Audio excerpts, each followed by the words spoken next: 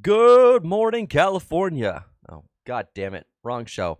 Uh, hi. So I forgot to add in one crucial part of this entire environment, and that is the lighting setup because it was asked for. So I'm going to give it to you because X can't give it to you anymore. He quit. He's out of the music business. And frankly, he just sucked at what he did, period. So, you know, life. All right, first thing we're going to do is I need to do that because I just want a little more atmosphere in here. So let's start with uh, the main lighting, okay? Um, the directional light.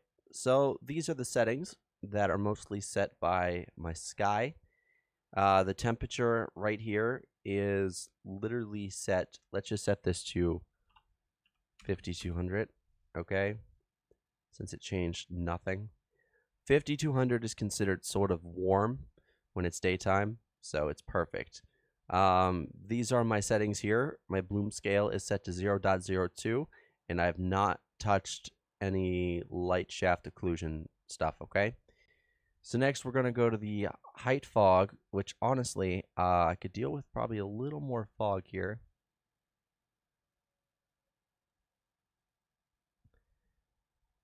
Yep, that looks a little better. And it's set to volumetric with scattering distribution up to 9 and uh, X, whatever the hell that is. I'm not good with words, set to 4.8. All right, so let's move on to the post-processing volume. We're going to start up here with global. Now, saturation is currently set to 0.98, which technically it should be 1, but I don't know why I didn't just set it to 1 whatever. Uh, I'm going to set it to a 1.2. Does that change it too much? No, that changes it in a good way. Uh, next, we have bloom set to 1.2. So I'm to just set everything to main numbers. Uh, ambient occlusion is literally up to max, and the radius is set to 200. You want to set it farther, you can.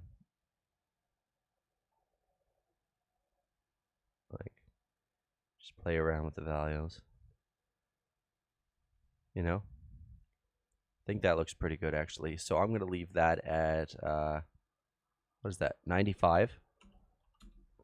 Okay. We have global illumination set to 4, and uh, indirect lighting is set to white. And of course, we have uh, infinite extent on, and that's it for the post-processing. So let's go to skylight. That one's important. So skylight, I have this set to 0.3 just to make the shadows a little more a little more presentable. And uh, it's set to movable just like the directional light. And I've not touched this at all, and I'm about to. Okay. The reason why I decided to touch that is uh, I really, really do need that to be more blue. Okay, so I'm going to show you what it looks like at night.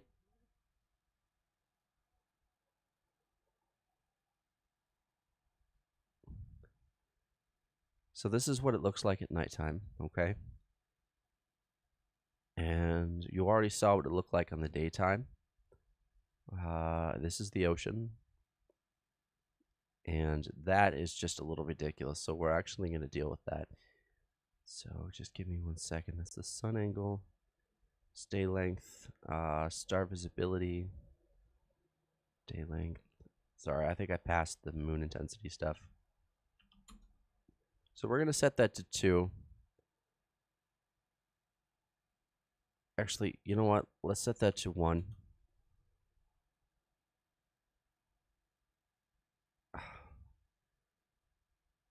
Maybe it's not a good idea to have uh, this on. Yeah, there we go. So let's go back to moon and just reset that.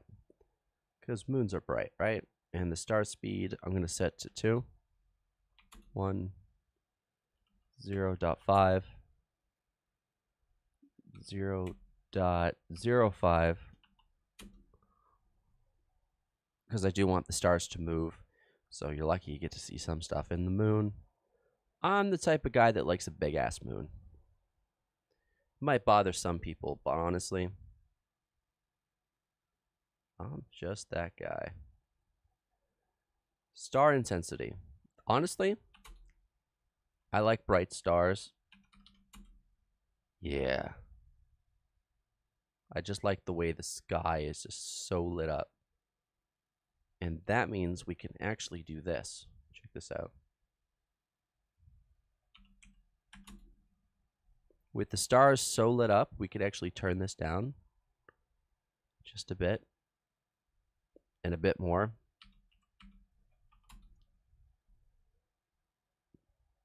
That is perfect. All right, color scheme is set to one. Technically, we could set it to that or that, but honestly, one is probably the best because just the way it is. And uh,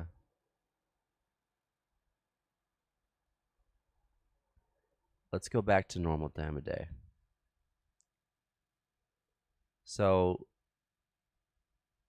that was a mistake to turn that all the way up. Turn that down. Jesus, look at that. I am going to need to find a way to deal with this lighting to make it probably, oh my god.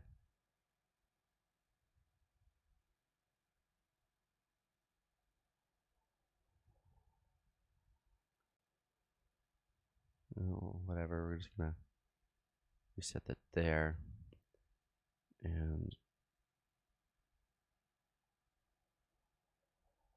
that there. Honestly, that doesn't look right, so.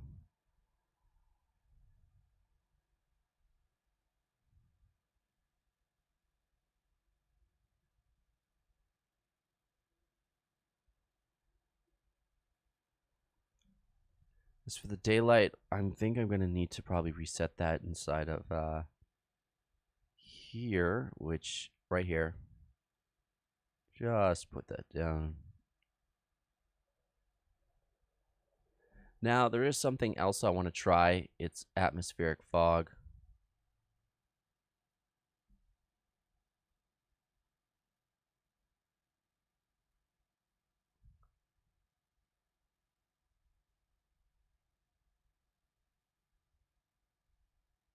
Turn that down to normal. that just gives us uh, a more blue sky. And we're not going to multiply the density of anything.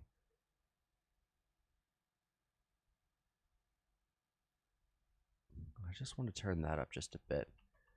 Now, as for this, I kind of want to go a little bit cheap here.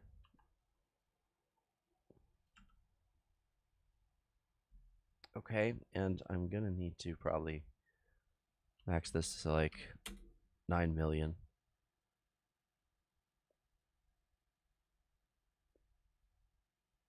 That's probably going to give it a little better effect.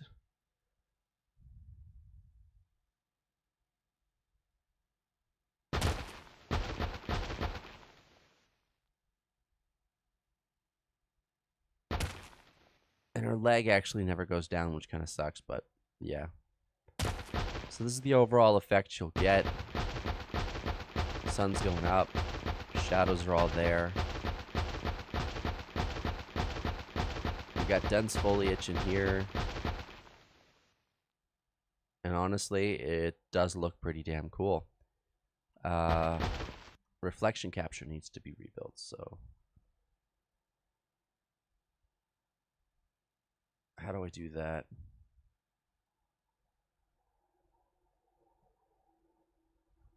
There we go. I think that has to be built from in here. Oh, there we go. Anyway, guys, thank you for watching. Have a great day.